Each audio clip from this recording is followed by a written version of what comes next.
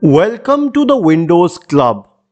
A lot of users have been asking how do we open elevated command prompt using command prompt which is interesting. So let us open the command prompt window. I'll type cmd in the run window and hit enter. Now I need to open the elevated command prompt window. So go to this article on the Windows Club. The link has been shared in the description section.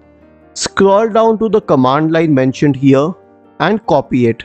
Now in this command line we will change ACK with our username. My username is KK010 and then I'll change it here again KK010 and I'll copy it. Then I'll go to command prompt. I'll paste it and hit enter it will ask for the password the administrator password for your system. I'll hit enter because I don't have one. And then it opens the elevated command prompt window here. Isn't this easy and interesting? If you have any doubts please go to the original article on the Windows Club. Scroll down to the comment section and write your query.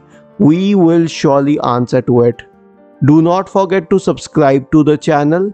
Thank you for watching this video and have a nice day.